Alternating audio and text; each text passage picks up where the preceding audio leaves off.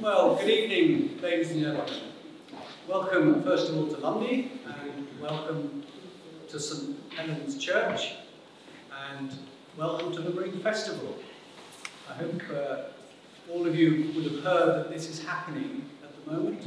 It runs from two days ago right through to the 11th of September, throughout the summer, and we've got quite a lot planned to happen. Uh, you won't necessarily be here to see it, unfortunately, but you'll certainly be witnessing what's happening this week when you will have seen in this church that we've converted it to a pop-up marine laboratory. And I'm delighted to say that we have people from the Porcupine Marine Natural History Society here, um, the North Devon Coastwise are here, uh, also uh, people undertaking the Darwin Tree of Life project, being undertaken by the Natural History Museum from London and also people coming from the Marine Biological Association in Plymouth. So they're all here at the moment. Um, to start with, they're undertaking an intertidal bioblitz, which is effectively trying to record everything they find on the shore, all around the island. Um, and then that will continue on Monday and Tuesday below the waves, so they will be diving and collecting what they can underwater as well.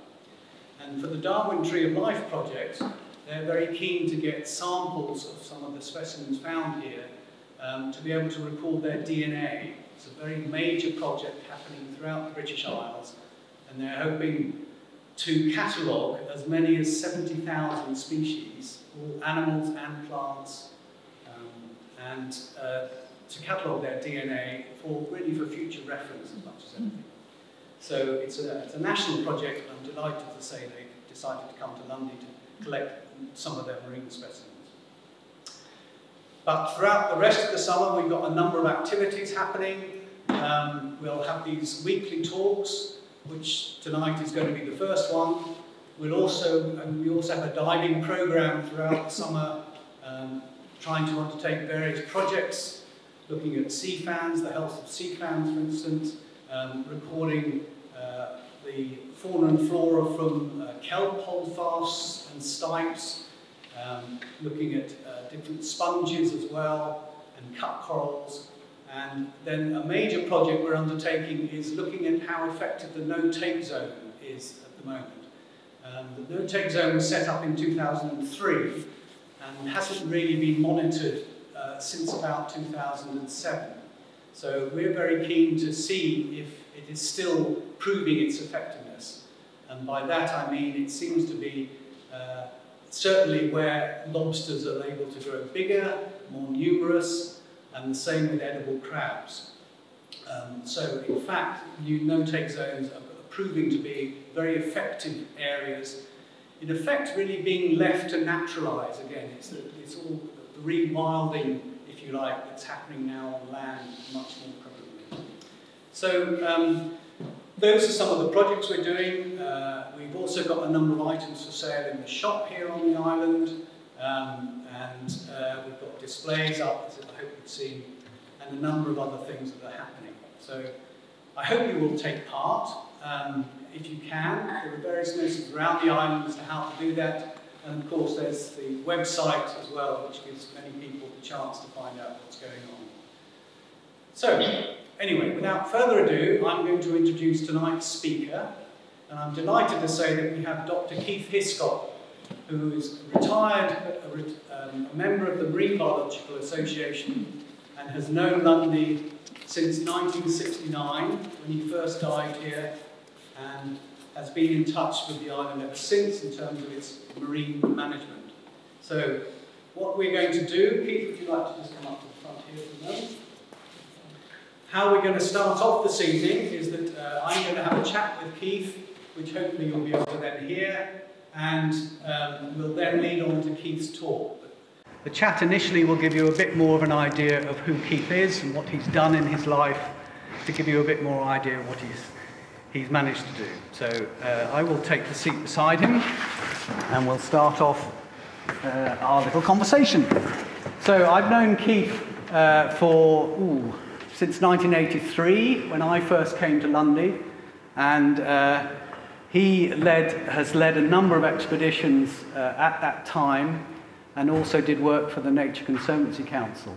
Um, but I'd like to just take you back a little bit further, Keith. I know you're a local lad, born in Ilfracombe, but uh, can you tell us how your interest in marine biology started? Well, I think I first came to Lundy probably when I was about five because my father used to come over here and do plumbing work on the island. And uh, I've got a photograph on one of the Campbell's paddle steamers um, from about 1952, something like that um, of myself, my brother, and my father, probably a picture taken by either my elder sister or my mother, uh, coming across on the paddle steamer. Um, so that was probably a first visit to Lundy. But in fact, my father was very keen on going out on the shore and ca catching prawns and lobsters and things like that. And I'd go out and see things like sea anemones. Uh, and I got fascinated by the fact that Ilfracombe was a premier location in Victorian times for marine natural history. And the local library had the books of Philip Henry Gosse. And you could actually see from his writing where he'd been in the Ilfracombe region and what he'd found in the way of sea anemones and corals. And I was particularly fascinated by the fact that there were corals in British waters. I thought corals just occurred in the tropics. So I went out on the shores around Ilfracombe, um, low water, looking to see what I could find and see if I could find the same things as, as Philip Henry Gosse in the middle of the 19th century. Um, so it all started from there. And then um, I, I, was very surprised once when I was in the lower sixth form at um, Grammar School, and the deputy headmaster came round handing out university application forms. And he gave me one. And I thought, oh, what's, what's this all about, university? but anyway, I filled it in, and I got a place at Westfield College, University of London, um, where very fortunately, um, the senior lecturer, who was a bit of a dragon, actually wanted to learn to dive. And so all of a sudden, we had the use of the departmental van to go off to Pembrokeshire, go diving. I got the workshops to make me a, a Perspex housing for a single lens reflex camera and things like that. And with friends and you know people from Westfield College, uh, I came over in 1969 to dive for the first time. It wasn't the first time I camped on Lundy. That was 1967 with school friends. So we camped on Lundy then. But 1969 we came over, which was of course a real transition year for Lundy. And by chance we were over here when the church dedication service was being held um, with the changeover to the ownership to the National Trust with the Landmark Trust taking on management.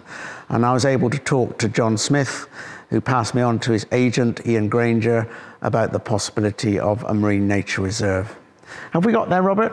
we have. We got there a, a, bit beyond, but that's great. Um, so, you, with a number of colleagues, you helped persuade others that the voluntary marine reserve was a, was a good idea. Um, why do you think the waters around Lundy needed that sort of protection? Well, first of all, it, it wasn't me that was starting the ball rolling. Uh, it was basically Heather and Ron Machin and John Lamerton, who then worked as an assistant regional officer for the Nature Conservancy Council. Um, so they were writing in the Devon Wildlife Trust uh, report and uh, booklet or whatever, uh, annual report, um, about the idea of marine reserves, which were gaining a lot of traction worldwide. Marine reserves, marine parks, people saw a need for them because of various degrading activities which were taking place, spoiling coral reefs and so on. And I think the thought was, well, why not us as well? Um, but I think there were reasons that people were concerned in particular about what divers were doing, what recreational divers were doing, taking souvenirs, taking lobsters, taking spiny um, uh, lobsters, and, and, so on. Um, and there was a review which said, nah, we don't need uh, marine nature reserves in Britain. But we carried on pushing for them because we saw a need in terms of not just reducing human impacts, but also in terms of having places which were as close as possible to natural, where you could follow natural change, where you could see what was normal. Um, and, and Lundy fitted the bill very well, and it fitted the bill also because as an island with west, east facing coast, north for coast, strong tidal currents, strong wave action, intermittent wave action. It had an enormous variety of habitats. So it was a place which um, from then until now is really very, very important for the range of marine habitats. Um, do you want to go on to the sunset cup coral? Yeah. Go on. Yes, tell us about the sunset. Go on the Sunset Cup Coral. So, as I say, I organised a group of friends to come over here diving in 1969 when Don Shires um, was organising the diving on Lundy and basically had the diving rights uh, from Albion Harman carried on after his death um, to dive from Lundy. So nervously, I went to see him in North London and arranged to come over with these friends. We camped, uh, we brought our basic diving equipment, and we were taken out in boats and we went diving at just a few sites. But the last day, we dived on the Knoll Pins. And um, I was impressed by the variety and colour of the marine life on the Knoll Pins. And then we came around a corner and I was faced with this wall full of bright yellow, I thought, sea anemones. And I thought, I've never seen that before. Um, I've been diving in Cornwall and the Isles of Scilly and southwest um, Ireland and so on, not seen anything like it. And I sort of touched them and they were hard. They had a calcareous skeleton. They were corals. And it took me until May the next year to actually, through the normal routes of communication in those days, writing letters in handwriting, sending um, specimens through the post to a specialist in Belgium, uh, to find out that they were a Mediterranean cup coral, uh, which we call these days the sunset cup coral. Um, and first record for Britain, it remains a nationally rare species.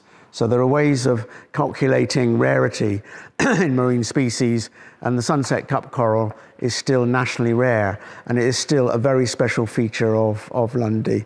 But there were lots of other things as well, and we carried on from there. Mm. And we got some uh, photographs of the yellow cup corals, I think, of the sunset cup corals up on some of the display boards we got here. But then you went on to do a PhD at the Menai Bridge Labs in North Wales. And uh, following that, you then got your first job. Was it at the Orielton Field Station? Well, not, not quite. no, um, not the, um, the PhD at, at Menai Bridge was with Professor Dennis Crisp. And Professor Crisp was very keen that I'd do a project which would look at larval biology of sea firs, of hydrozoans. Um, and then he disappeared off to India for six months.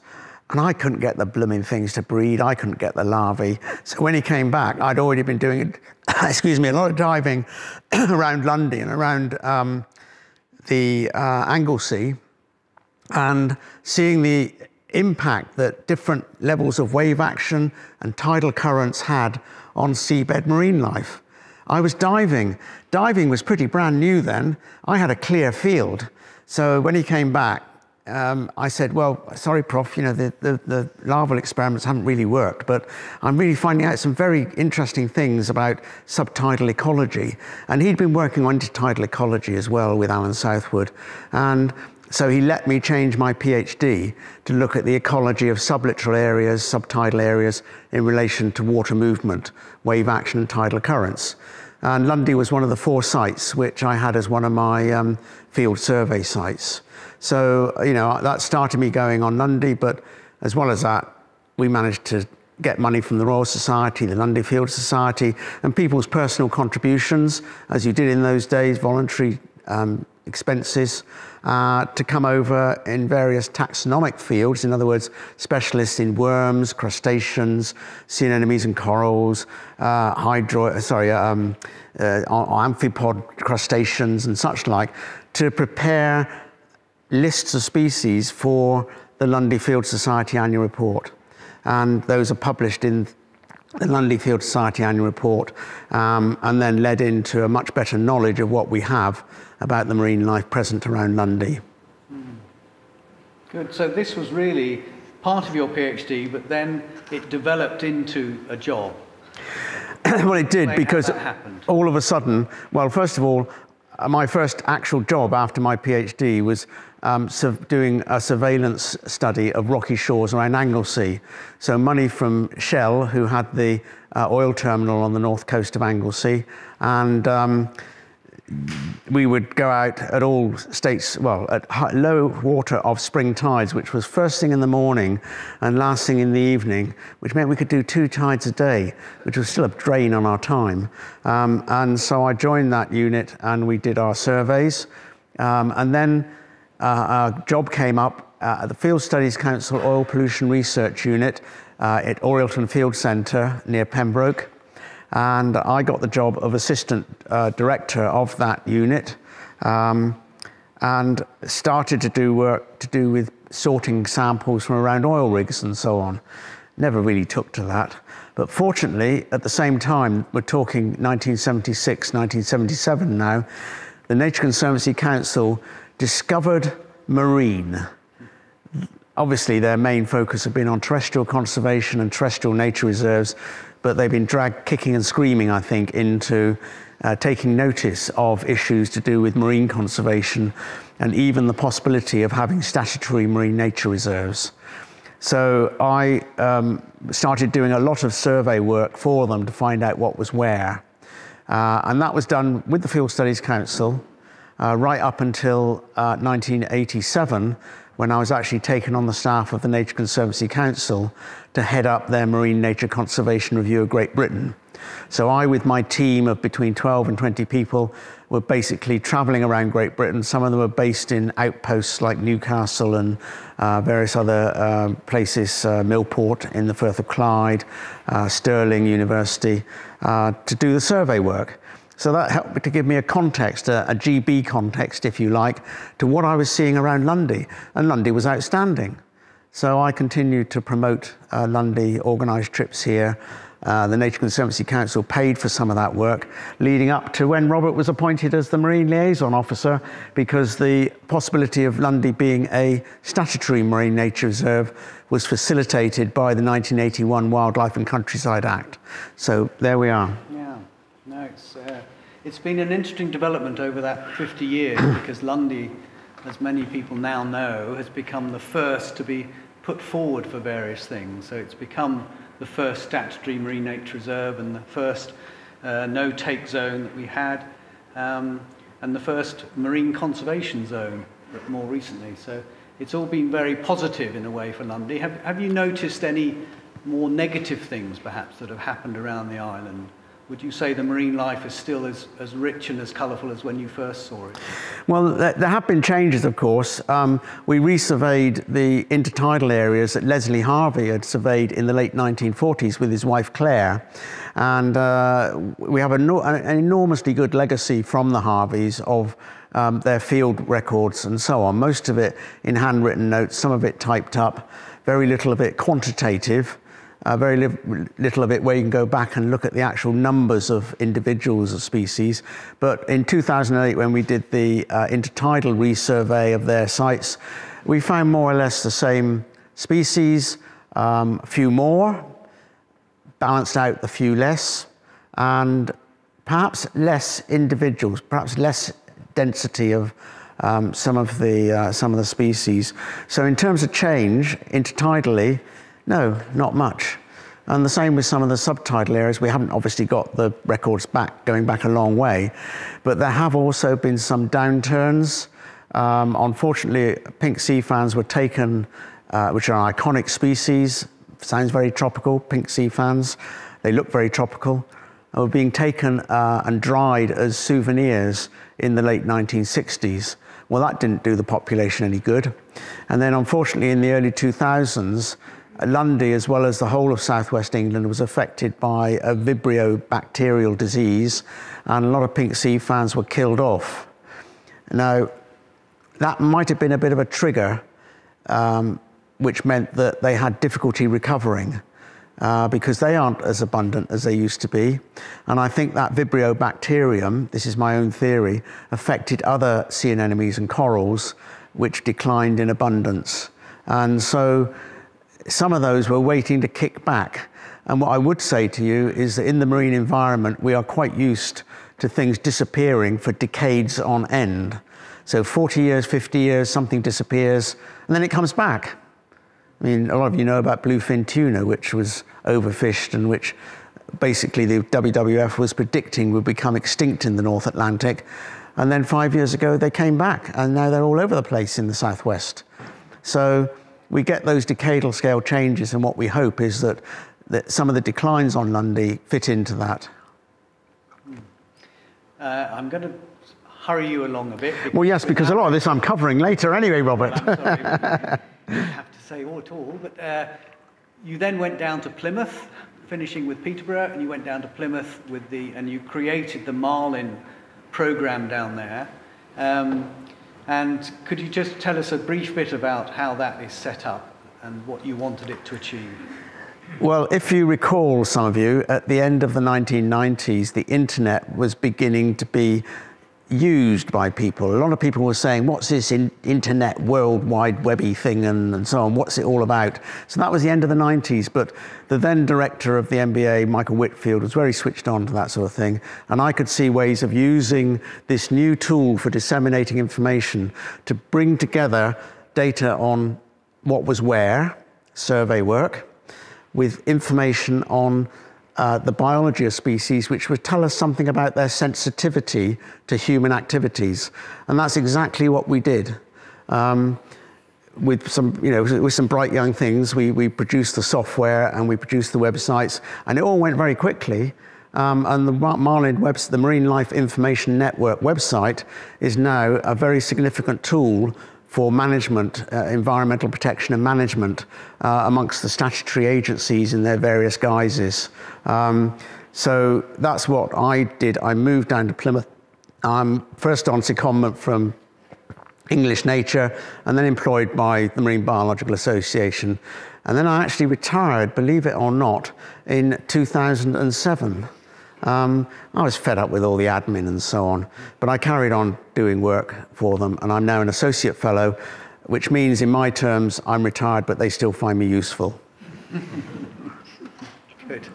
Well, we've come right up to 50 years really since uh, you first started here at Lundy, um, and uh, we would like very much to hear your talk now of what you're going to say. Could, so could you just give us the, the title of your talk, maybe, and then we'll get to see the slides. There it is. Oh, well, um, I need that to remind me what the title of the talk is. so I'm going to um, stand up here, and I've been given this uh, marvelous pointer. I've got no idea where Robert got this from. Um, but I'm going to give you a flavour of what makes Lundy special, but I'm going to start with talking about the conservation story. And I'm sorry if um, this presentation repeats what Robert's got me to say, but I didn't know he was going to get me to say things. So can I have the next slide, please? So pre-1970s, yeah, I'll, I'll ask you to go forward when we go forward. Um, so there were dredging, there were dredging surveys being undertaken on the, off the east coast of Lundy um, before 1850. Uh, work of Edward Forbes and so on took dredge samples off the east coast of the island in 1848. And I'm told by colleagues who are here today from the Natural History Museum that there are specimens in the Natural History Museum which predate that from Lundy. But the first description of seashore wildlife are those by Philip Henry Gosse, who I mentioned in relation to my interest in uh, seabed, uh, seashore marine life in North Devon. Uh, next one. And George Tugwell was another naturalist, and I just love this quotation. He returned from Lundy shores in 1851, laden with all imaginable and unimaginable spoils. So the Victorian naturalists were very keen on trashing seashores, turning boulders over, using a strong backed quarryman with a crowbar to turn boulders over, um, and uh, finding things. Charles Kingsley of um, the Water Babies fame, uh, who was based in Bideford. he also is a very good marine naturalist. He wrote a book called Glaucus or the Wonders of the Shore, and he found the scarlet and gold star coral at Lundy, which Gosse had described as new to science in 1853. Next. And Tregelles, uh, who I haven't got any pictures of, uh, collected seaweeds, made very, not comprehensive necessarily, but very good lists of seaweeds, um, 1934 uh, to 1937. Next. But the first systematic studies of marine ecology at Lundy were the intertidal surveys undertaken by Leslie and Claire Harvey together with students of Exeter University in the late 1940s and very early 1950s. Um, and that's the records which are now held in the archives at the Marine Biological Association um, and which are very good. But as I say, unfortunately, he wasn't very quantitative. So when he uses descriptive terms like common or occasional, we don't know what he actually meant. And, and that would have helped tremendously. Uh, next slide. And then we start going underwater. But of course, we have to wait until diving. Um, and in the late 1960s, people were using fairly primitive diving equipment, scuba diving equipment. Um, and uh, David Irvine from the Polytechnic of North, North London and all these other people, uh, when I came over in 1969 with my friends from uh, Westfield College, um, this lot were here and, and, they were collecting seaweeds and, and, they were identifying them and they were writing uh, lists of the species that they collected from the shore and underwater. So they got 298 species listed. So a bit more work, um, but 298 species of algae, which is a very good list. And they found this one. This is golden kelp. And you can see in a way why it's called golden kelp. It's got a very clean stipe.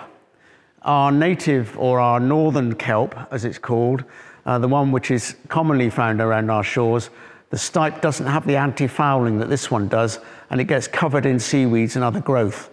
Um, this one was a notable find at Lundy. It had been found for the first time in Britain in Plymouth Sound in 1948. Next. Now, I just thought I'd show you this for amusement. It's not actually taken on Lundy, and I see it's out of focus down here, but never mind. Um, now, this is what we looked like in 1969. This is what divers looked like in 1969. I know it's 1969. Next click, next click, because I could afford to buy a contents gauge. In 1968, you just strapped a cylinder on your back, you had a regulator, and you kept on diving until you started to suck on your cylinder, and then you knew it was time to go up. But 1969, I could afford a contents gauge. And this is a photograph taken on the 4th of August 1969 of that yellow cup coral at the Knoll Pins. This was when I was at Westfield College and the workshop were charged with making me a perspex housing for my underwater single lens reflex camera. And also what I was doing was I was doing surveys which looked at the way in which marine life was distributed um, around the island, different rocks, uh, here's two different sites, the south coast, the southwest coast. There's another drawing and so on. Uh, sorry, Knoll Pins and the south coast. Uh, there's another drawing for the east coast and the, sorry, the west coast and so on. Very pictogrammic, um, lots of different symbols, which are all explained here, but very early days of describing the ecology of subtidal rocky areas. So I was very fortunate in being there with scuba equipment to take advantage of that gap in knowledge. Next slide. Okay, and underwater nature reserves. Well, um, this is an article which is written on behalf of John Lamerton, Heather Machin, and Ron Machin of the Ilfracombe branch of the British Sub-Aqua Club. So 1969. And here's Heather Machin again. Heather really took the lead. She's Heather Booker now, lives in Leigh. Um, and uh, here she is writing in the Journal of the Devon Wildlife Life Trust at the end of 1969. Um, here's the sort of diving that we were doing in the 60s, 70s, and 80s. So we were working out of a concrete hut on the beach, the diving hut. This is the old Shern, the sort of landing craft that used to operate from the Polar Bear, which was the previous island supply boat. But we were working out of inflatable boats, which we used to take the engine off the back, carry it up the beach, then get half a dozen of us around the inflatable boat, carry it up the beach, and then launch it the next day. That was a very good system, actually. Worked really well. Um, yeah, don't be too premature. um, Lundy became one of the best study areas in Britain, especially for subtidal habitats. And we were doing the inventory of the fauna from 1971 1980, lots of quantitative sampling, this is the barn. This is the barn before it was converted into that luxury dormitory accommodation. Um, and we had a, a, a laboratory built here kindly by the island, shelves, benches, and so on. We were doing all sorts of other studies, for instance, burrowing species. Now, can anyone tell me what this diver is doing? So burrowing species make conspicuous holes in the sediment, but often we don't know what the burrowing species are, they're just holes in the sediment. So nobody's answering. So what you do is you mix some fiberglass resin, you put it in a bucket, and you carry it down and you pour it down the hole. And then 24 hours later, you go back and it's set and you dig it out and you get the structure of the burrow, which could be the burrow of an angular crab or a red bandfish. Uh, and sometimes you even get the angular crab trapped in the middle. so we were doing other things apart from just inventorying the fauna. Okay, next slide. That's it. And also things like mapping underwater habitats. Now, this is um, 1979. And the way we did it then, you can see all the dots on the map. No GPS no lat longs. Basically, we were going off features about a kilometre or half a kilometre apart, and we were going more or less in a straight line, more or less, in a straight line, and we were using a compass, old fashioned Boy Scout stuff, a compass taking bearings on different features and then plotting them on a chart or a map to work out where we'd been and using an Ordnance Survey grid reference. No GPS no lat longs. And um, these are our dots. And, th and, this is, you did this, didn't you, Robert? Yeah. So Robert uh, produced this um, colored map showing the distribution of different habitat types around the island. And believe me, long time, for a long time, that was the best map we had. We had people coming over with sonar devices saying that they could find out what the bottom type was from the um, reflection of the sonar and so on. Absolute rubbish. We got some uh, totally nonsense maps, and it was a very difficult thing to counter because a lot of people thought that any new technology was brilliant. No, it wasn't. It just wasn't working. Um, and I think we got some maps which really I hope nobody's going to take any notice of these days. But this was a good map. There are better maps now. There is better systems, and there are some very good maps produced, which I'll show one later, I think. Next slide. We even had a stamp set. We even had a Lundy issue of stamps in October 1978, Lundy Marine Reserves, and these are special species which were, um, you know, it used to illustrate the, the stamps. Next one. And we were doing quantitative surveys, we were monitoring change, we wanted to know how stable the populations were, how persistent they were, um, or how they changed. And we were using this sort of quadrat with a, a film camera, of course, um, and, and taking quantitative photographs with this frame, which, if anybody wants it, I have at home outside my back gate waiting to be taken by the scrap man. So if anybody wants that frame, do say so. Next slide. Oh, funding ceased after 1986. Yes, a bit of a tragedy. Um, priorities changed. The Habitats Directive was on its way and such like. And basically, that monitoring stopped. And it means we've got a real gap in our understanding. Next slide. And then up came the statutory Marine Nature Reserve. 21st November 1986 was when it was declared. There was earlier press coverage and so on. The Environment Minister, William Waldegrave, at the time here. And of course, this is why Robert was appointed to sort of lead up as, an, uh, uh as a liaison officer to the, um, de the designation of Lundy as Britain's first marine nature reserve, and now still England's only marine nature reserve. I mean, it's been overtaken by the Marine Conservation Zone designation. That's replaced the MNR designation. But this is what happened. Click again. And that was the boundary. So straight line boundary so that it was easy for people in fishing boats to know where they were in terms of using their Decca navigation equipment or whatever. No GPS. You had to use something called Decca, which uh, you know, you could work out where you were and what your latitude and longitude were. Next slide. Uh, the Scuba Diver's Guide to the Lundy Marine Nature Reserve, which is 2001, um, and which I see there are still copies for sale in the shop. There aren't many left, so if you want a last available copy, go to the shop tomorrow morning. So this was a very good guide. You'll need to flick the pages in the top. But it was followed on but this one isn't available. I don't know, Robert, have you found? Reproducing You're reproducing it, you're re having it reprinted. Okay, so this was very good as well. This was done for the 40th anniversary. Um, and it was done by the, uh, the then wardens, Nicola Saunders and Sophie Wheatley. And, um, you know, when it's reprinted, it's well worthwhile having. Next slide. And we had the 40th anniversary. So uh, we're now the 50th. And this was Geoffrey Cox, the local MP, on board the Oldenburg. Again, the island turned up trumps and let us use the Old Oldenburg for uh, the event.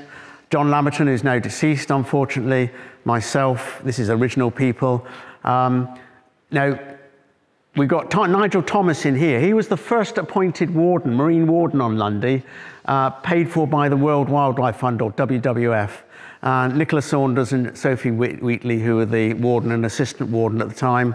And there's Robert at the, at the event as well. I couldn't get everyone together at the same place. Uh, next slide, please. And I don't want to forget two other key people. Um, Heather Booker, who was Heather Machin, who was instrumental in promoting Lundy, wrote those articles in 1969. And Chris Mandry, who unfortunately also is no longer with us, who always had good ideas and great support over many years. Next slide. Okay, so that's what Lundy is now, and this is the boundary map. If you go and buy a copy of the 2001 book, the map is completely out of date in terms of boundaries. But we've got the, we've got the uh, statutory marine, uh, sorry, we've got the special area of conservation. Uh, we've got various areas banned from trawling. We've got the no-take zone, which is no, um, no, uh, no no removal and no deposition of anything. Uh, and then we got things like recreation zones or um, anchoring zones and so on. So you've got this, and I'll come back to management plans in a minute. Don't try and read that. Um, but that's the Lundy Marine Protected Area uh, zoning scheme, which is a good way to do things. You know, you allow most activities to go on where they're not really causing any damage, but where the damage is likely, especially off the east coast from mobile fishing gear, heavy mobile fishing gear, then you do have things like no-take zones, what are now called highly protected marine areas. Next slide, please. Okay, what's the importance of marine habitats at Lundy? So you've got socioeconomic importance. I mean, there's shellfish and fin food. You know, Lundy is important for those people who catch lobsters and crabs, uh, take whelks and so on but it's also important for inheritance value and public enjoyment, what you call in jargon cultural services. Um, biodiversity is important for biodiversity and conservation, seeing habitats as they should be, giving us a, a baseline or a marker against which we can judge areas which are damaged, maintaining a reference point to study change and for comparison of unprotected areas. So we want to know what natural change is. We want to see what's as close as possible to natural and what we should expect to change anyway. Not all change is due to human activities. Not all change is due to climate. Not all change is, is due to um, uh, you know, stochastic events like storms and so on. So I think that places like Lundy help us to have reference sites for that. And of course, comparison for unprotected areas. And why not just because we enjoy them? Next slide. Now, this is the sort of um, image that we can get these days. Uh, absolutely fabulous. I mean, this is a LiDAR image of the island, which is done from planes. And then you've got the underwater sonar image, which is only depth. It's not habitats, it, it's not areas of sediment. It, the red is shallow through to the blue, which is deep. But you can see it tells us where these rocks are. These are rocks. Rocks coming out of here. Um, rocks off the south coast going on to level seabed. Uh, gullies that are well worthwhile investigating. And nowadays, those, of course, are all georeferenced, so you can hover over them with a mouse and you can find out what the latitude and longitude is. So if you want to investigate these apparent rock outcrops well offshore here, then you can hover over uh, one of these um, images and, and, you can find out the latitude and longitude. Uh, and it gives you a clear picture that Lundy is very, very rocky on the south coast and the west coast, the wave exposed coast. It's not so rocky on the east coast. The, the, the, the, the rock boundary is quite shallow. uh, quite inshore, except where there are tidal currents, where there are tidal races. And then offshore, it's level seabed, it's about the same depth, so that suggests that it's going to be sediment. Next slide, please. But I want to show you this because the old ones are always the best. This is from um, 1869, and when Wheatley said, okay, Lundy, it's a big lump of granite, but only part of it is a big lump of granite. So the magma which came up through the, through the Morte slates, so the Morte slates were there before Lundy was, so the Morte slates um, were out in the middle of the Bristol Channel as it is now, and the magma pushed up through in an egg-shaped mass. So that's the egg-shaped mass. And it, clearly you know the southeast corner is slate, the rest of it's granite. But look where the line is. Look where the line is. If you dive off the south coast of Lundy and if you dive off the north coast of Lundy, you're on slate. You're diving on slate. So that was, you know, done a long time ago, but it's right, it's correct. Next slide, please and landscapes, but also one of the reasons why Lundy is so valuable as a marine conservation area is because it's got such a variety of habitats. From the wave-exposed west coast, I think this is when my tight-fitting hat actually blew off into the water. So if you find a black Physalis hat on the shore, then it's mine. Um, next one. And this is what the shores look like on the west coast. Very, very barren. They look very barren. They're limpet barnacle dominated. There aren't that many seaweeds. Uh, this is a transect. You can just see the tape measure there. This is a transect when we did um, surveys of the zonation of four sites um, on the various coasts. And uh, this is Dead Cow Point on the 4th of July 1977. Um, this is my wife at the time, Sue. Uh, and this is one of the sites I said we shouldn't try and get to, it's too dangerous. Uh, Sue was six months pregnant at the time and we scrambled around to it. And you just did things like that in those days. Next slide, please. And then, of course, you go to the sheltered east coast, and without the very strong wave action, the shores can be dominated by seaweeds. The, there's no transect line here, but there's also a transect which goes up here on the north side of Rat Island. So the north side of Rat Island, covered in seaweeds, very different sort of habitat. And I will say very pointedly here that Sue and I set up those transect sites. They're very easy to refind and relay the tape measures on exactly the same lines and resurvey them. So why is it that when English Nature and Natural England bring their staff over here to do transects, they go to different places? Why don't they go back to the same places and resurvey them? That would make sense to me, but there we are. Um, another tease for natural England. Next slide, please. And you get the boulder shores. And those of you who went up to Ladies Beach today, um, which I think is this one, um, will complain at me at some time during the trip for sending them along a really difficult walk to get to the shore and boulders that could not be turned. But some boulder shores have got turnable boulders, and when you turn over boulders, you find lots of interesting stuff. Next slide. And then places like um, Devil's Kitchen and the rock pools. Um, not many rock pools on the granite, but on the slate, uh, lots of rock pools, and very worthwhile investigating because, of course, they're wet all the time so you don't get the dehydration that you get on the, on the open shore. And quite often they're populated with a high variety of seaweeds in particular. So rock pools are very interesting. This, of course, is um, Devil's Kitchen. You can see the beach hut there and the castle up there. And that's a fabulous shore to explore. Next slide, please. And some highlights from the shore, and they're a little bit my selection, as it were. I had some slides which showed a massive number of different species, and I thought, no, that's too much for my audience um, on uh, Friday night. Uh, so you've got the Devonshire cup coral. You can find those in quite a lot of places. You probably won't find more than half a dozen on one shore search. But the, the, the prize is the scarlet and gold star coral. Um, there are lots of places on Lundy where you can find this very small coral, um, smaller than the size of your little fingernail, but you know, it is scarlet on the outside and it's got golden tentacles. Um, things like snake locks and anemones, which everyone finds fascinating. Uh, this is the rock pool which we didn't go to at uh, Lametry Bay. Uh, today I decided that it wasn't safe to go down the rope, um, but it's a fabulous rock pool. Sorry. uh, next slide. And then you've got things which really, particularly people on a seashore safari, love to see. They're not necessarily rare, um, but they are you know, rather bizarre. They're not what you would see in a woodland or whatever. Marine life is very different. So there are no freshwater starfish. So, you know, this um, spiny starfish, which grows to about sort of 30, 40 centimeters apart, um, that's quite often on the shore. Um, at Devil's Kitchen. Um, the green sea urchin, Psammechinus, yes, that's another one which you find under boulders.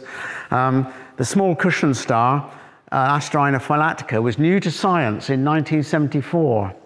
And we've got some very good populations in upper shore rock pools which warm up. It's a warmer water species. And it is small compared with the other cushion star. And then things like the shore clingfish with its eggs here, which again people find absolutely fascinating. Next slide. But more unusual species, things like the solar powered sea slug, Elysia viridis, which lives on this codium, which has uh, got a very velvety type feel to it. And those green dots, it's stolen some of the chloroplasts from the seaweed that it feeds on. And it's now, those chloroplasts are continuing to produce sugars which benefit the sea slug. So a nice little story with the solar powered sea slug. And stalk jellyfish, yeah, I think people today at Gannett's Rock found three um, stalk jellyfish. They've become unusual in southwest England. They've been in decline all around southwest England, which is a pity. Um, I, I should have asked my colleagues here to look out for the Australasian barnacle.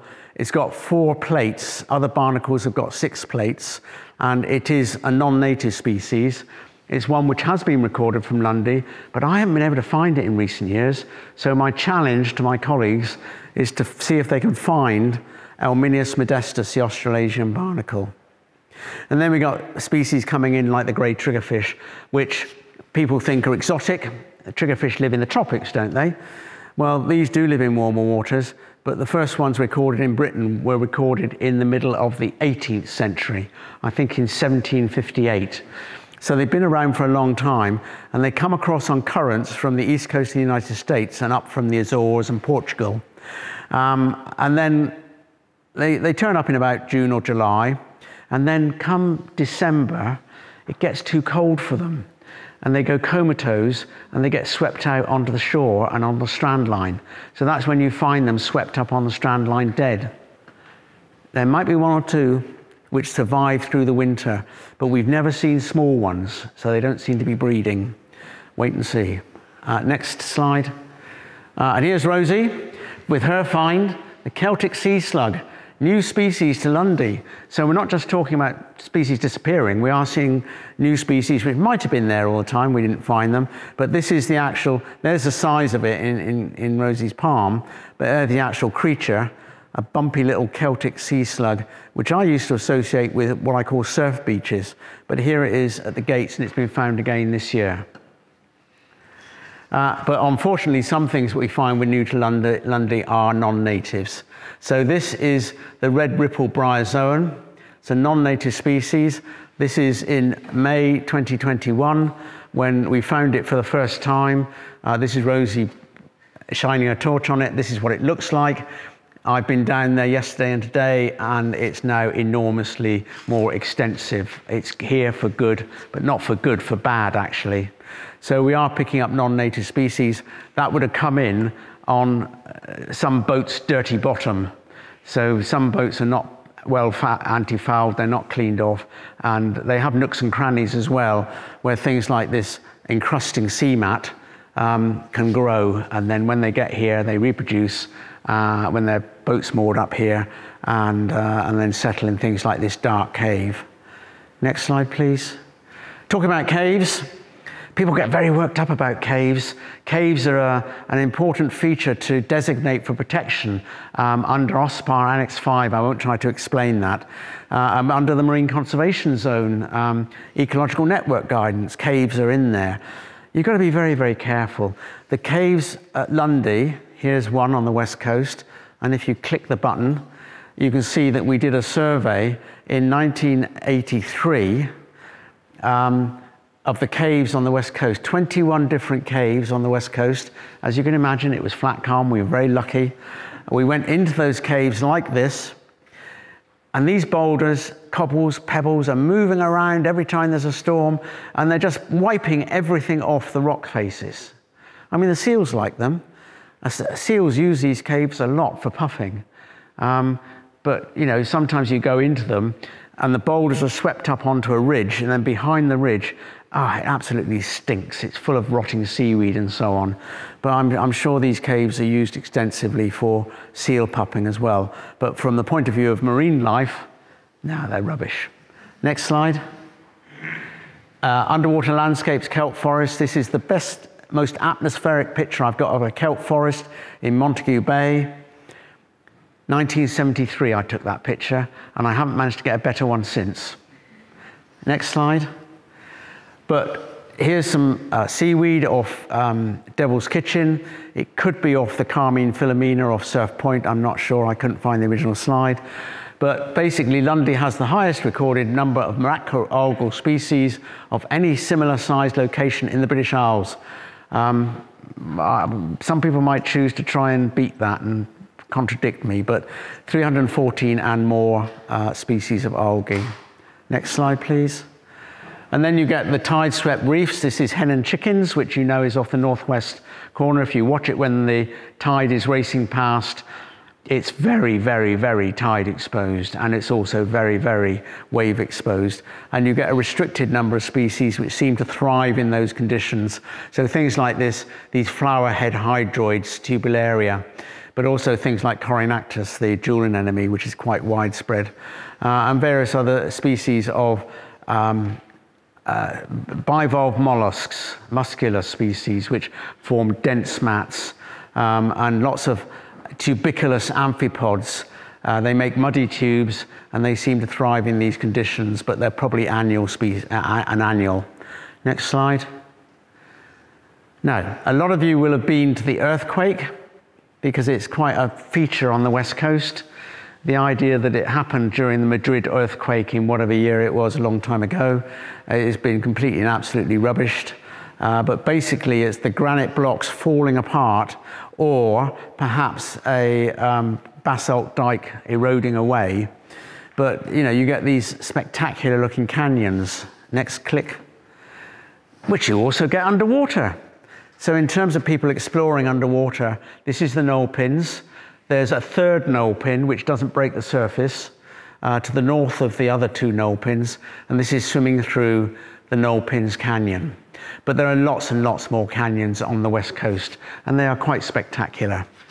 Next slide. And the west coast, the wave exposed west coast, looks a bit like this. This looks like a very fragile coral, doesn't it? It's actually a sea mat. Um, and it's potato crisp rhizome, and it is as fragile as potato crisps. If you pull it, it just snaps off. But it survives on this wave exposed west coast. Next click. And also we get the, the pink sea fans there, which here you are, I think this is probably 2015 or something like that.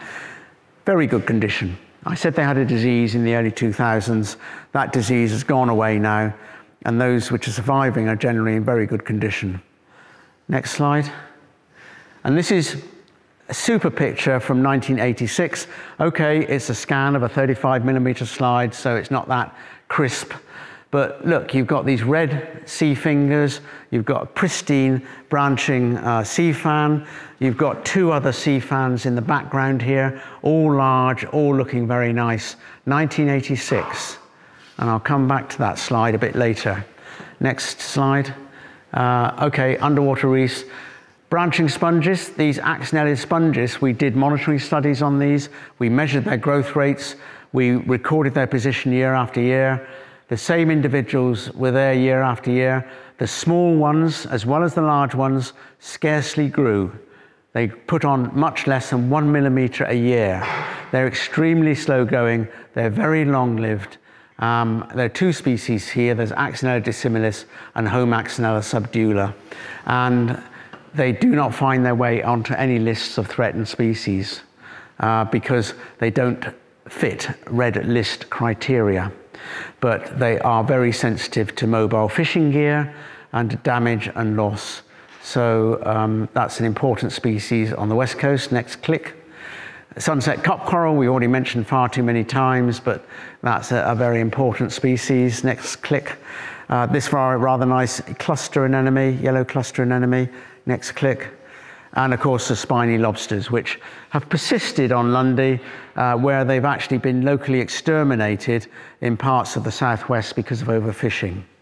They persisted at Lundy, and of course, what we've had is a situation where, where they were made extinct um, in the late 60s, early 70s, all of a sudden in 2014, we started to see babies in places where we'd never seen them before, or I'd never seen them before in diving out of Plymouth for 20 years.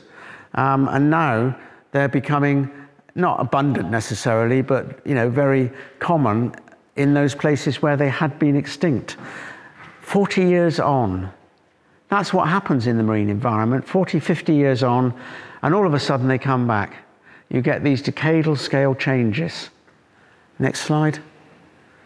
And this is a picture that Robert took, um, and it shows at the knoll pins um, four of the five species of cup corals which we get in Britain. So Devonshire cup coral, sunset cup coral, Weymouth carpet coral, southern cup coral, and if you click again, we get the scarlet and gold star coral, which doesn't occur in the subtidal, it occurs intertidally. So we've got all five species of British stony corals. Next slide. Uh, this is just the tide-swept underwater reefs. Again, those potato crisps bryozoans, those fragile bryozoans seem to survive. There are lots of species which occur everywhere, like the spiny starfish and so on. But off the Rattles anchorage, slate. Not granite, slate. Next slide. And then things to look out for, jellyweed, um, Schmitzia. Um, occurs in the tide-swept cobbles off Rat Island, where the tide races on the north side, near the Carmine Filomena wreck uh, something we haven't seen for many, many years. Uh, tasselweed, Carpomitra, yeah, we, we see that around Lundy consistently, but it's still an unusual seaweed.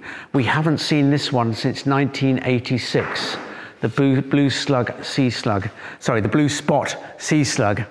And sea slugs are notorious for disappearing for many, many years before they pop up again. But it'd be lovely to see that one back at Lundy. We know it's 1986 because there was a film crew over here, and I said, You must film the spectacular blue spot sea slug. It's only about an inch long. And they said, Oh, well, where can we find that? And I found one for them, and I put it in a jam jar, and that one was brought back and forth to the shore and then taken out and tipped on the seabed to be filmed. But it was the last time, 1986, and I'm not saying we took the last one because it was put back where it was found, that we actually saw blue spot sea slugs. This is a, a novel one. Uh, this is a sponge crab. It actually uses its rear claws to put a sponge or even a, a red sea fingers on its back. This one hasn't got one for some reason. But so it shows up the pink claws, which is often all you see. Um, sea fan poached egg shell, which uh, was kindly named after me because I drew, drew attention to it from um, samples out of Plymouth. I had to collect 25 of them out of Plymouth in order to have the DNA done, uh, and it turned out to be a species new to science. Uh, sea fan anemones, Rohan Holt found these on Lundy many, many years ago, and I trust Rohan's um, observation, but we haven't seen them since, and we hadn't seen them before, so another one to look out for. Next slide, please. Our East Coast sediments, we're getting towards the end of the um, you know, sort of pictures of Lundy landscapes and so on. You can see a policeman anemone, and it's called a policeman anemone, I'm told, because it's got like a policeman's hat on top of it. It puts its tentacles up like that. They burrow in the sediment, and then there are lots and lots of other species which you don't see. with sediment like this, which is a sort of muddy gravel, then you do not see the fantastic variety of species um, which are present in the sediment. Probably about 250 species in total. Next slide. And then there are the more conspicuous species, such as the angular crab, which lives in burrows, harbour crab. Uh, there are scallops out there, um, but you can't take them, not inside the no-take zone. Um, and there are things like red gurnard. And there are other things like butterfly blennies, which I just haven't got a decent picture of. Next slide. But the most spectacular one is the red bandfish. This is Robert's picture, and at one time there was a population of about 14,000 off the east coast. We know this because um, uh, people from the Millport Marine, sorry, from the Isle of Man Marine Station came down with their research vessel and their towed underwater camera and they censused the area and came up with a number of 14,000 individuals. They aren't anything like that number now. Next pick. But we do know what they look like. Well, sometimes they come all the way out the burrow, so we know what they look like. Uh, but this is a rather unfortunate incident because here is a red bandfish which has been caught by an angler off the east coast. You can recognize the sidelands here within the no-take zone. And this was published in a um, angling magazine. And so uh, Mr. Watson, uh, together with the skipping, uh, together with the uh, skipper of the uh, fishing boat Anchor Man 3, had some telephone calls from the fisheries authorities to nicely say, were you fishing inside the no-take zone? Don't do it again.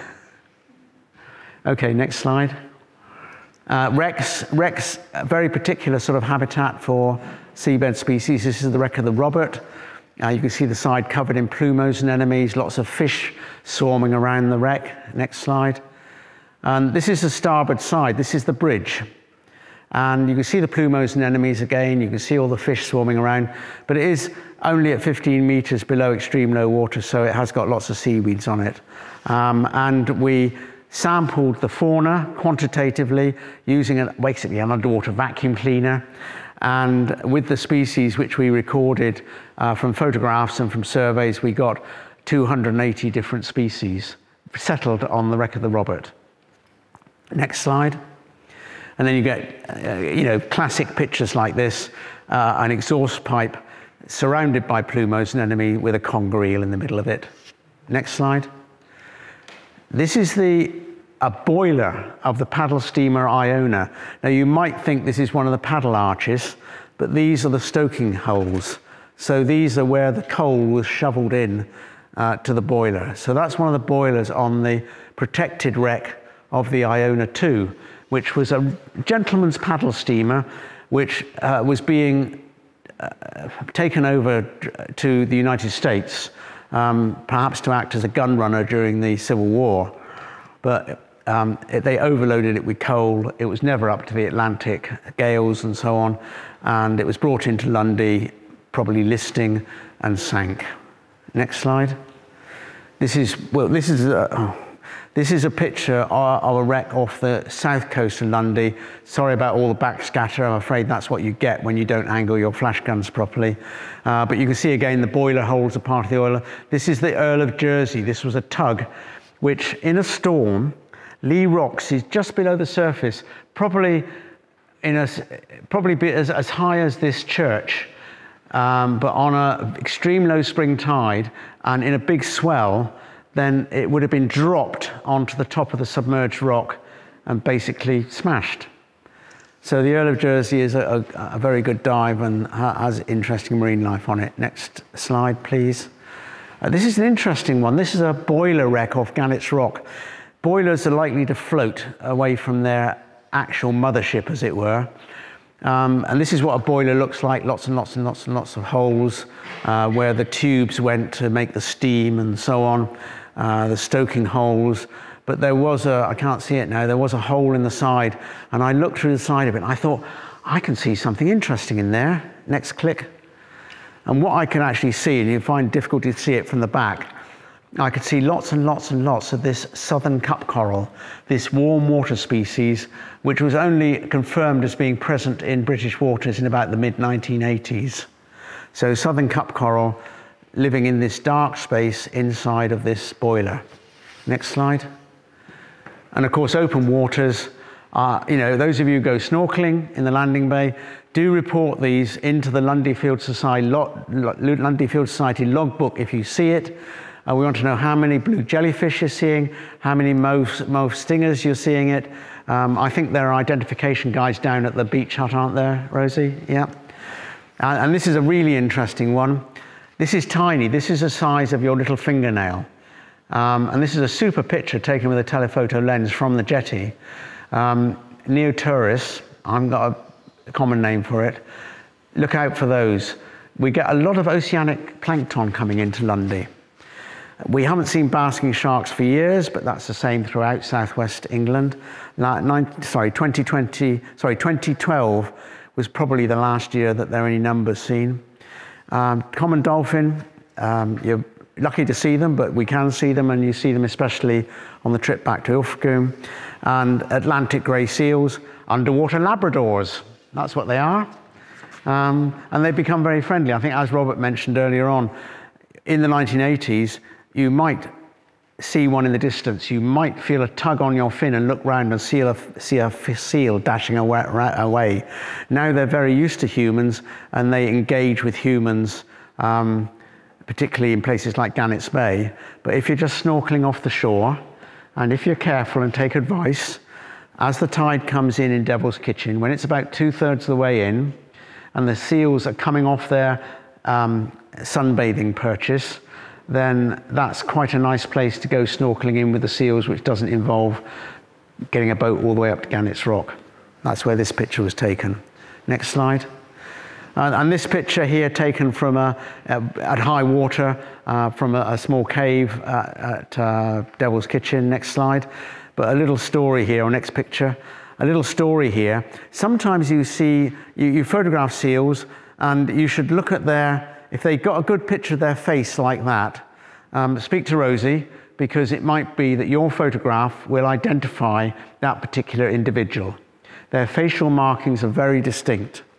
This one actually had a tag on it and it settled on the seabed and I took a picture of the tag, number on the tag. It turned out to be a seal called Woody.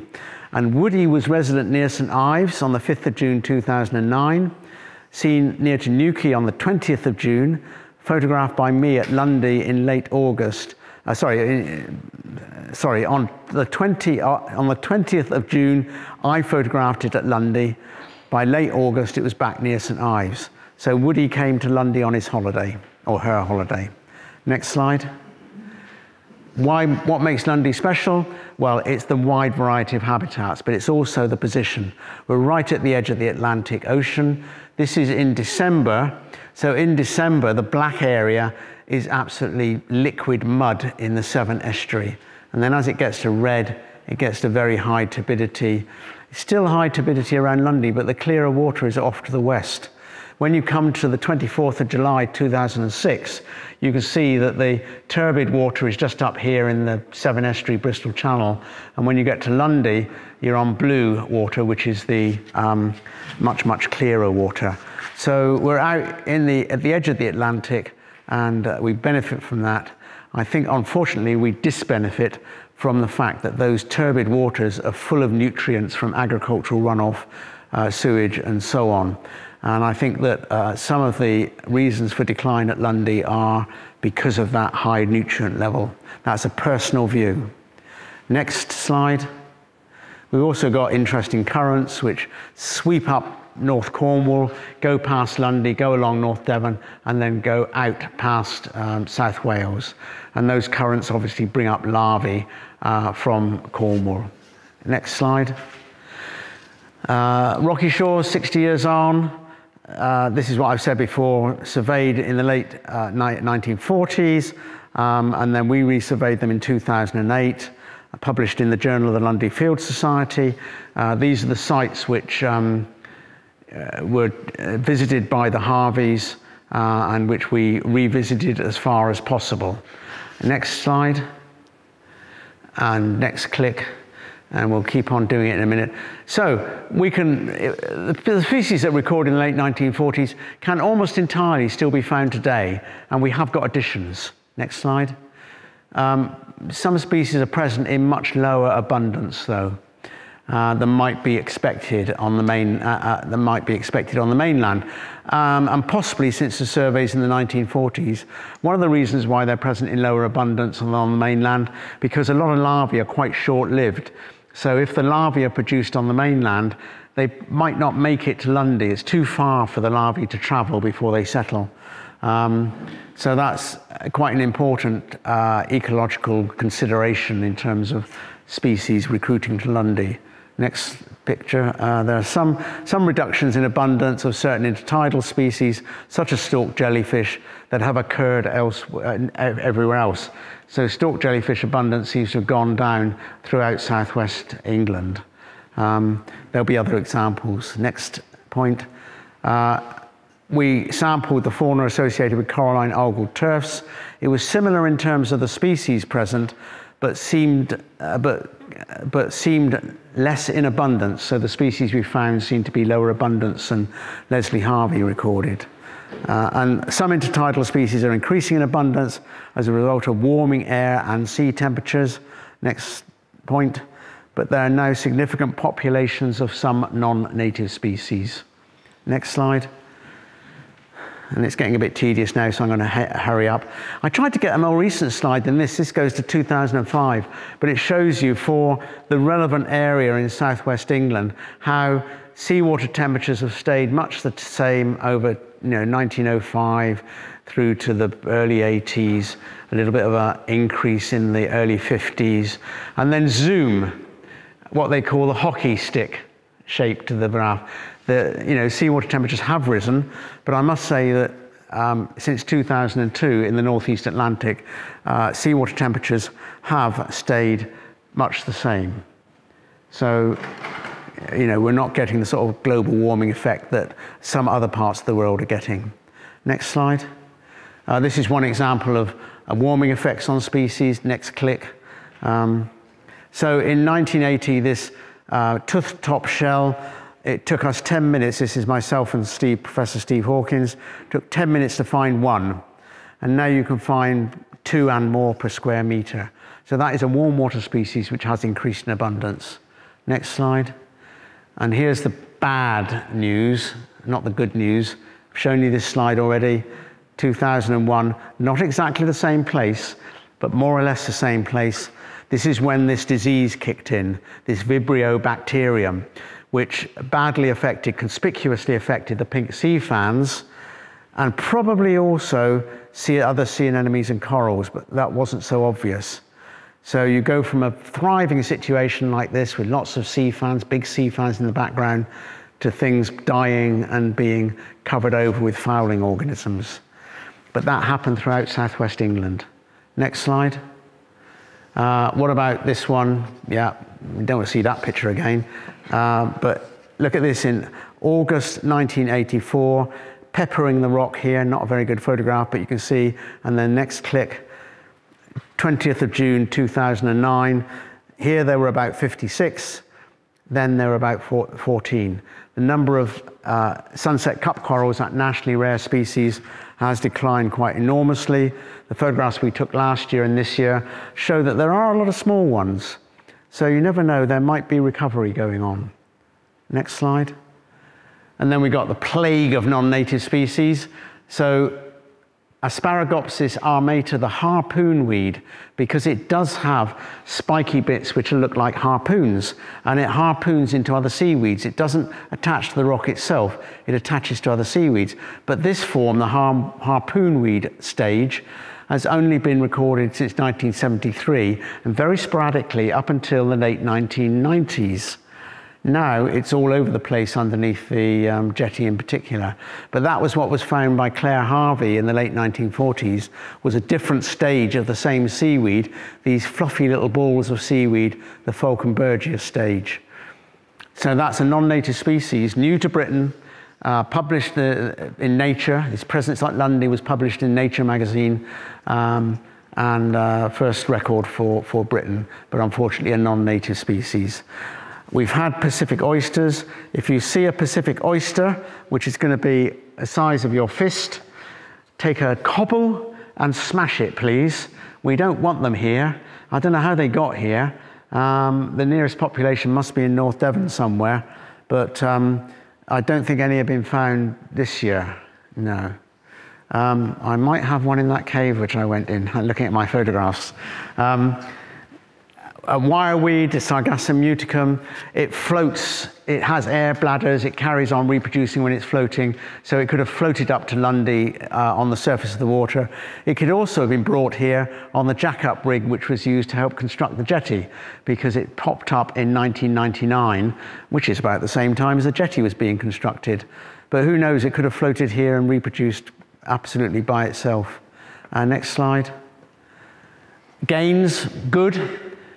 Lobsters, seven times as many off the east coast in the survey work done in 2007. Um, this is one at the foot of the knoll pins in an overhang. Uh, when we had a film crew over and they wanted to film a lobster and they said, Keith, we find, where can we find a lobster? And I said, well, I think there's one under a boulder at about 20 meters depth off the knoll pins. No, Keith, we need to know where one definitely is. I wasn't allowed to say there might be, so watch out for film companies. But I, I, said, all right then, let's go and have a look. And fortunately, it was there, and that was the one. Uh, next slide. So that's just the graph, which shows, compared with um, what they call control sites, which are really reference sites on the mainland and in South Wales, um, you can see uh, in, from 2004 to 2007, you know, an enormous increase in the number of lobsters being caught um, by experimental traps off the east coast of Lundy. Next slide. That's the work going on. Next slide. And that's a catch from 12 pots off the east side of Lundy from uh, gigantic uh, to undersize. Next slide. And that sort of survey is going on again. This is a study being done by Plymouth University. Um, and this is a lobster which has now got a, an adhesive tag on it, not a, uh, a tag which is stuck into the flesh or anything like that. It's really for fishermen recatching them, not for um, you know divers seeing them and being able to read the very small writing on on there. Um, so there's Ben Benji holding up uh, from experimental catching in 2022, an experimental study. Next slide. Uh, this is, I've told my colleagues I want to go to Brazen Ward because I want to retake this photograph of these branching sponges, which um, are very long lived and very slow growing. And you can see I took three pictures, pasted them together. I want to retake those pictures and I want to see whether exactly the same sponges are present in exactly the same place. It's not a difficult rock outcrop to find. Um, my instructions tell me to kneel 60 centimeters away from the rock and have the lens set at 14 millimeters. So um, I'd very much like to do that. Next slide. Scallops. This wasn't taken at Lundy. Scallops, very tasty. Um, scallop dredging off the east coast used to take place, but not very much even before the um, no-take zone. Next slide. A ridiculous study. Those who like statistics um, will know the problem, that they were basically using this two meter long pipe and swimming along and counting the number of scallops which they saw. And what they discovered when they got the results was that they could not they, they could not possibly have taken enough samples in order to produce a statistically valid analysis.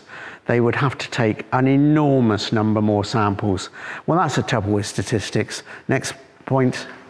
Um, if you collect scallops, if you actually see them on the seabed, lift them up and measure them, um, then you might get a much more effective measure of how many there are within and outside the no-take zone. Uh, but it's not a study which has been commissioned for some reason. I mean, I think it's because sometimes our colleagues in the nature conservation agencies get too hung up with needing statistical accuracy instead of meaningful counts. Um, uh, you have got to have the right sharp eye to see scallops. No good if you haven't got a sharp eye. Next slide. So Lundy's Marine Protected Area, where we are now, where are we now? You can see we're near the end, and I'm, I'm near the end. Uh, long, well, what, what, have we got? we've got a long history of study that informs the management of the area. It's a special area conservation. It has a no-take zone. It has protection for spiny lobsters via a marine conservation zone designation. It has a management plan for the marine protected area. It is subject to condition assessments by Natural England. That's for the special area conservation. It encourages activities that help visitors enjoy and find out more about the area. You know, we do want people to enjoy the area uh, and not just to feel that they're being stopped from doing things. Uh, it provides facilities for research. It enables commercial fishing for lobsters and crabs outside the no-take zone. It enables angling outside the no-take zone. Next slide. It has a management plan. Now, when I give my annual lectures to master's students about marine conservation, and I get to the point about marine protected areas, and the Lundy Management Plan is just about the only management plan which I can recommend from Britain. There are management plans in the USA and Australia and New Zealand and so on, which I can draw attention to. But the management plan for Lundy, 2017, uh, it has a goal. All projects, all good projects should have a goal or an aim, and it has objectives. They're not actually called objectives, but it has objectives which are uh, quantified or can be followed up. So it has objectives which can be tested uh, to say whether they're being fulfilled or not. Uh, and that's, that's very important. And um, you know, it's, it's, very surprising that other marine protected areas don't have uh, this sort of management plan. So it does act as an example and a model. And there's its um, strap line is respect, oh, sorry, respect, protect, enjoy. So that's what Lundy's all about.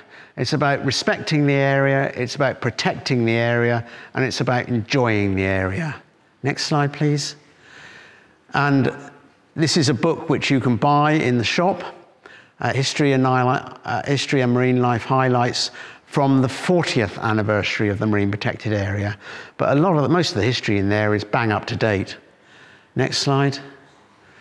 And then if you find to find out more about history and wildlife at Lundy, including looking at the Lundy Field Society Journal and the Lundy Field Society annual reports, uh, then go to the Lundy Field Society website.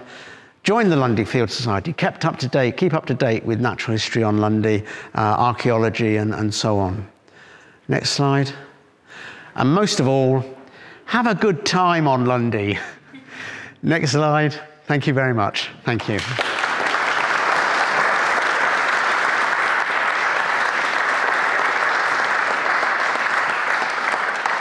Well, thank you very much indeed, Keith, that was excellent.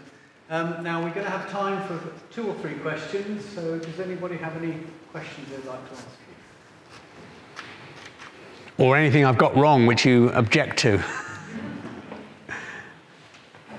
yeah? Well, it's got to be the sunset cup coral, hasn't it? I found it. It's rather lovely. It's an absolutely fantastic part of Lundy's underwater scenery, and um, you know we need to look after it and better understand what's happening to it, why it's shown such a decline, and hope that it'll just come back of its own uh, volition, as it were.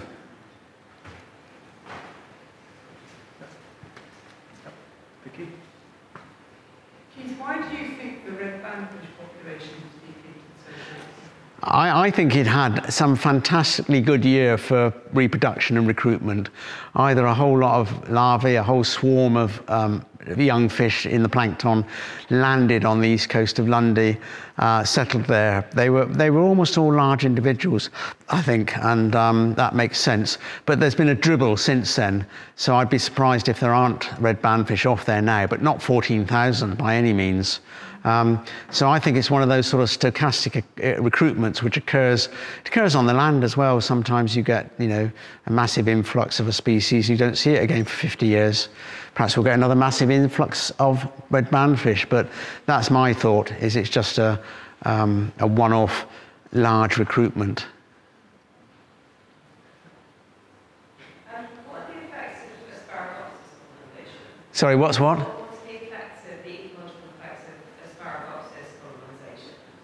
This is the harpoon weed. Oh, this is oh, Asparagopsis, yes. Um, You can answer that. uh, because Sherry is doing um, a study at the moment uh, looking at the impacts of um, uh, non-native algae uh, at Lundy, but that was a very unfair question, Sherry. I'm not going to follow it up.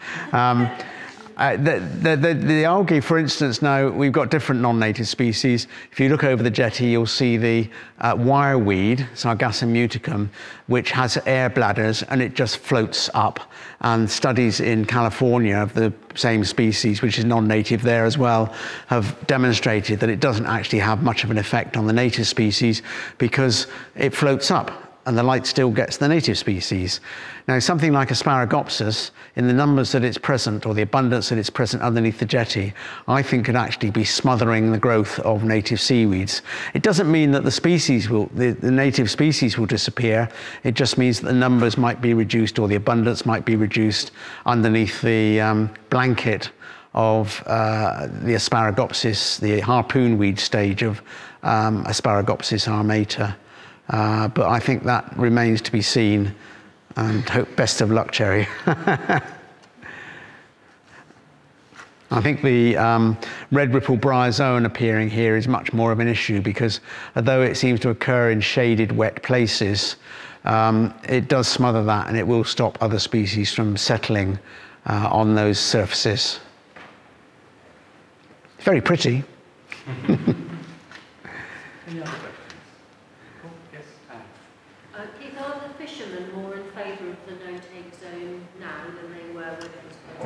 Well, funnily enough, when it was first suggested, they were in favour of it. I mean, the Devon Sea Fisheries Committee, as it was, you know, sort of were drag kicking and screaming to the idea.